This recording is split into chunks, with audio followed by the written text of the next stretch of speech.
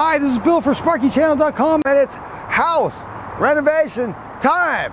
This video is for educational purposes only and only competent persons should attempt this repair. Today I'm going to be switching out this vintage 1960 switch. Listen to it. Remember, I don't know if you remember these old switches, but they were pretty noisy. And a lot of people switched them out for quieter switches in the 70s and 80s. But this is an original 1960 vintage switch.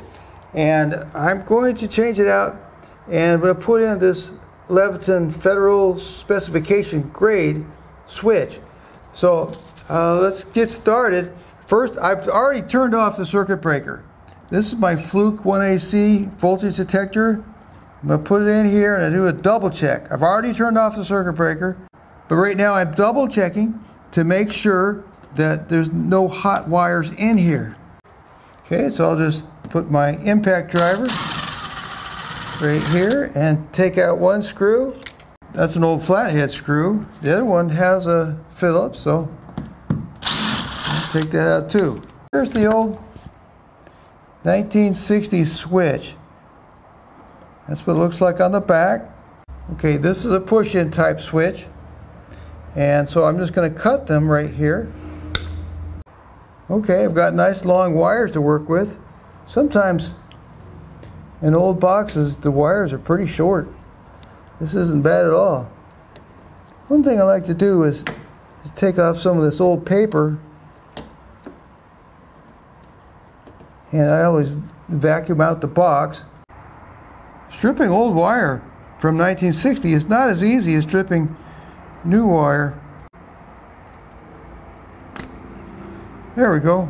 I have now turned back on the circuit breaker to make a couple of important tests. Okay, this is my Fluke voltage detector again, and this is the hot wire right here.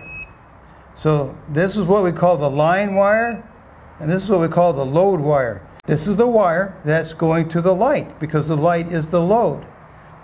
This is my Fluke 117 electrician's meter. I have these Wago lever nuts on these wires for safety because the electricity is on right now for this test. And what I'm going to do, I'm going to take the red lead of my Fluke 117 electrician's meter and put it into one of the ports of the lever nut. And then I'm going to take the other lead and put it right to the back of the metal box. And see, I'm getting 121.1 volts AC. So this white wire is hot and the metal box provides a return path to ground. So when you put your leads across them, uh, you get about 120 volts AC.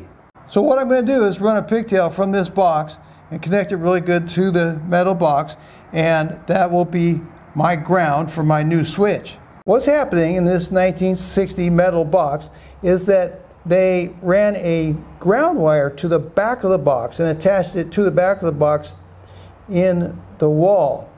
Here's a picture that I took of a different box in the same house. Now, not all the boxes in this house are bonded and grounded like this.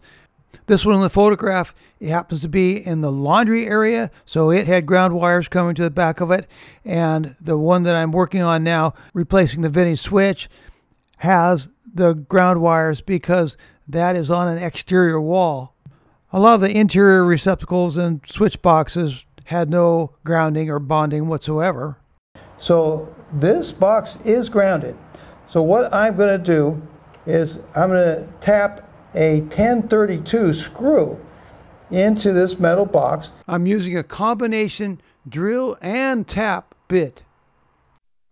Okay, so I've got my 1032 bit on my drill and I'm going to go ahead and find a good spot right there.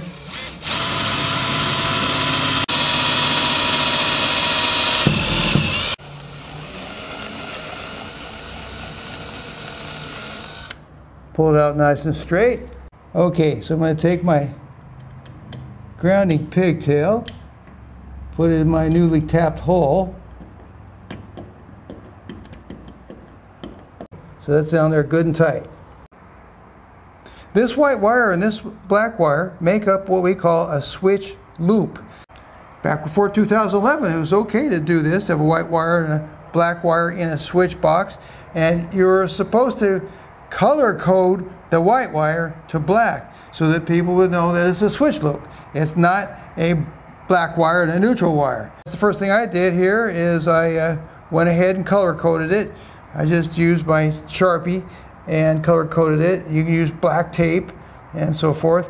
This switch provides two different ways of wiring. You can just put the wire straight in to the terminal and then screw the screw down or you can go around the terminal and then tighten the screw down. So I'm going to elect to go straight in. I'll start with the ground.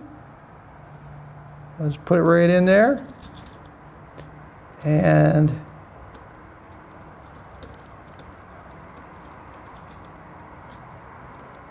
tighten it down securely. And then it doesn't matter which wire goes next. We're just uh, breaking the flow of electrons.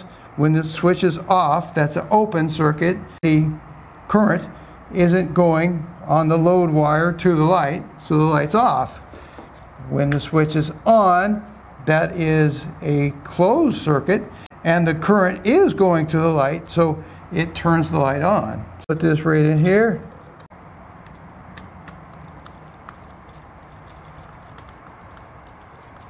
This is called back wiring. This is not backstabbing. Backstabbing is a totally different thing. This, uh, your more expensive devices will generally provide a way to back wire. Okay, so we've got the black wire in the second terminal.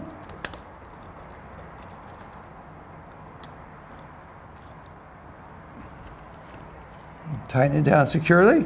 The next thing I'm going to do is I'm going to put some black electrician's tape around the switch for safety. So now we'll go ahead and put her back in.